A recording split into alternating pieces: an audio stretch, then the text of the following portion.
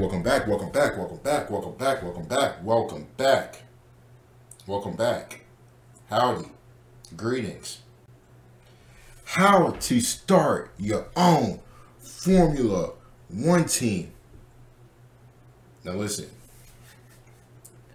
very, very looking forward to this. Very looking forward to this. And to be honest, I even got my own team name on deck. Actually, I don't. Actually, I don't. I don't. I don't have my team on deck. But we are watching the video. Hope you guys are doing well, amazing, absolutely wonderful. Very, very looking forward to this video because we see the bad teams. HTP, Red Bull Race, uh, not Red Bull Racing, uh, Rich Energy. I'm sorry. I, I can go on, but we know. So let's see how to start your own Formula One team. But before the video starts, don't forget to like the video and sub as well. Love you guys and girls. Let's get started. If I asked you what Bruce McLaren, Eddie Jordan, and Gene Haas all have in common, what would you say? Money. Well, their surnames are a bit of a giveaway. All three of these guys started their own Formula One teams completely from scratch. Chaz Racing. That's it. Simple as that. Chaz Racing. Yes, sir. Yes, sir. Coming in 2025. Chaz Racing. You heard it here first. Chaz Racing. Now, when it comes to starting your own Formula One team, there are two different ways you can go around it, and they are drastically different financially. One is to buy an existing team, which would include the factory, employees, and other facilities.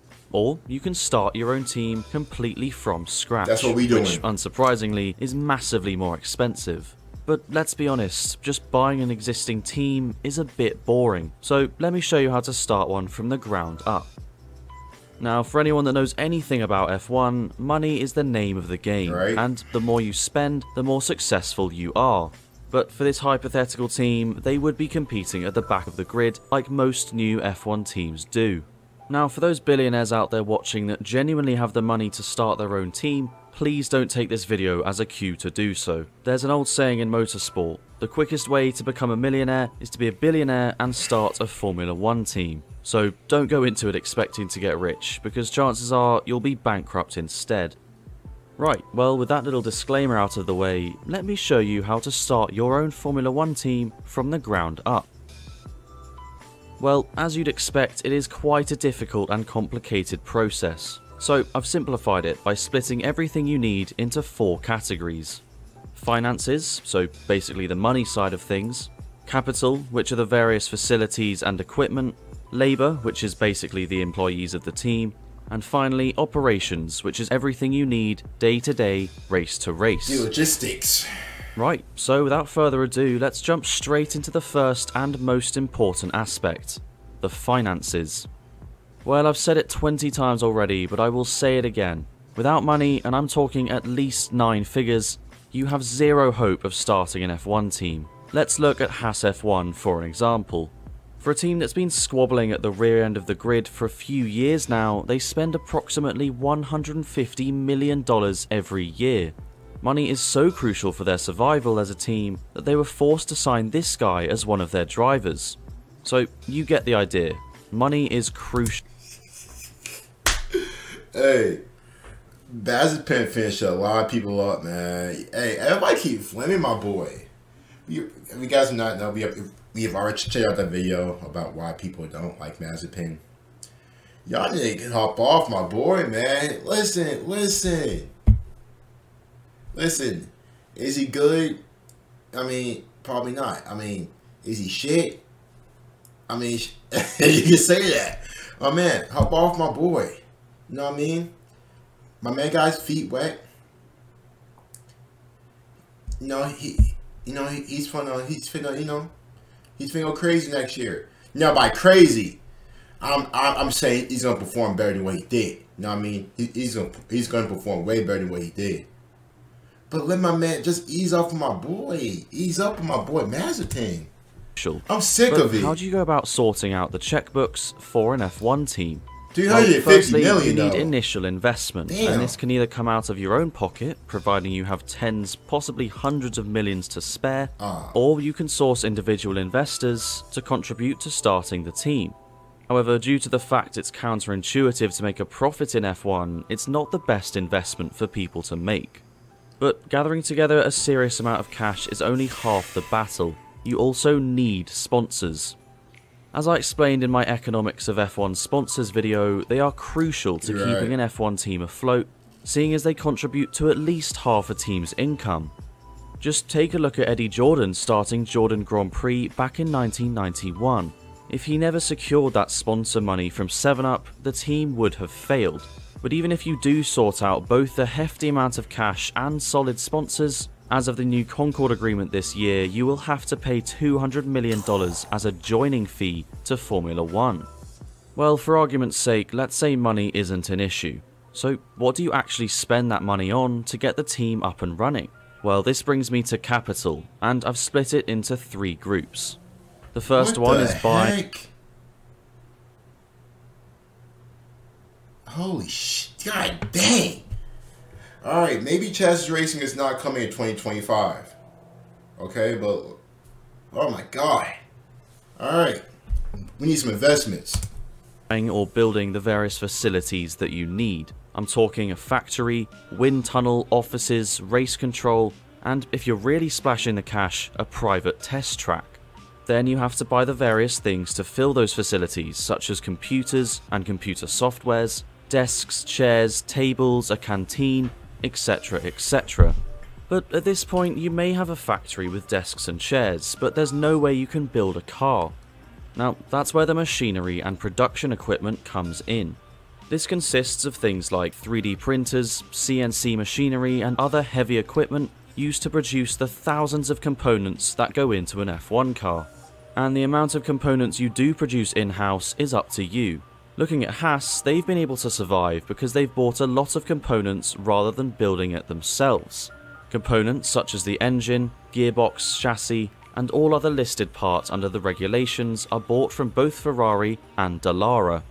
And this allows Haas to save millions rather than building the parts themselves, Yeah. which incurs significant research and development costs. And so, if you are looking to cut some corners, I would recommend following a similar approach.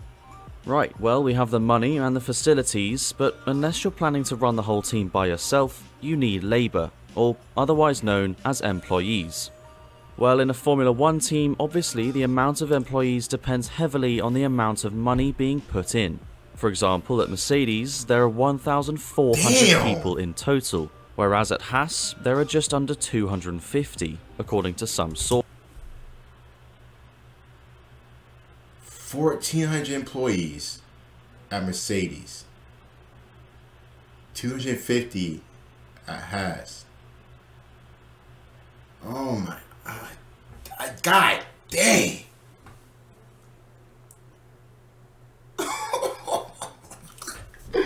oh my gosh. That's wild. That is wild. To be honest, I'm not gonna I'm not gonna cap to you guys. You guys know we watch we watch this shit live together. I honestly never knew Haas was that small. I honestly didn't know they was that small. They don't even have 500 employees, 250. I honestly did not know they was that small of a team. My God, no wonder they struggle. No wonder they struggle. Jesus, that's tough. That's tough. Forces. That's hard. But how are the employees broken down in terms of their roles? Well, I've split it into five categories. Technical roles, which are basically the people that design a lot of the parts on computer softwares such as CAD. Then, once they design the component digitally, they send over the information to the people in operations roles. Now, these guys are basically the ones that get their hands dirty actually manufacturing the components, whether it be by welding, operating a CNC machine, or managing the electronics. Then, once the car is designed and built at the factory, it is sent off to the racetracks along with those working in trackside roles or race roles. This includes the strategists, pit crew, trackside engineers, photographers, All in all, there are around 50 to 75 people per team at any race weekend. Then there are the business roles, which are just as important for a Formula 1 team as they organise the day to day operations of the team. Business roles include those working in marketing, human resources, public relations, logistics, accounting, all those administrative roles that we don't really acknowledge. Then finally, we have the directors and the drivers. These are the public figures such as Toto Wolff and Lewis Hamilton that we know very well. So that's his name. Tort Toto Wolff. Total Wolf. I mean, it's pretty. It's a pretty unique name. A very unique name. Down the director roles, you have a team boss, a technical director, commercial director, chief of aerodynamics, chief of R&D, chief designer, and then of course two phenomenal drivers. Hopefully. All in all, it's a lot of people to I'm hire and pay. now finally, the last category to Poor think Russell. about when setting up a Formula 1 team is the operations. By this, I mean everything you need to allow the team to travel to every race and set up the various mobile facilities. This includes the freight costs to transport all the equipment to the races, be it by road, air, or sea. Then you've got the actual mobile facilities, such as the motorhome, pit wall, computers, and other tech needed for trackside operations. And then you also have to factor in the travel costs for those 50 to 75 employees that work at the race weekend. Now, the actual logistics of a Formula 1 team is extremely complicated, so you will need to factor in for things going wrong every so often, be it a missed flight or a lost piece of freight. And so, there you have it. If you're wanting to start your own F1 team, those are all the things you need to think Oh my about. God. And by watching this video, you will realise that it's no small feat by Yeah, any measure. you will need a colossal amount of cash, state of the art equipment, a few hundred employees, and a serious dose of stupidity to even get a team in the sport. The real drama and suffering begins when you actually begin racing. But I think showing you how to run a Formula 1 team will have to be saved for another video. You may need to speak to Toto about that one. Toto. Oh, So, Tio what do you think? If you had a cool $350 million plus in the bank hanging around, would you dive into the world of Formula One? I'd love to know what you think, so comment that down below, and as always, make sure to like, subscribe, Yeah, you guys let me know. Would y'all dabble in the F1 world? I ain't on cap. I, I, I probably would. I probably would. I probably would. I probably would. Listen, I ain't going out as bad as, as you know, Rich Energy. I'll tell you that now. I ain't going out as bad as them, but definitely, definitely could. If I get, you know, everything set up, the team name, I got, you know, the facilities, you know, the logistics part, you know, also I got, you know, the car, stuff like that. I possibly would, you know what I mean? But you guys let me know if y'all would as well. Anyway, you guys don't get like this up. Coming up, I gotta start some reactions. See you guys later.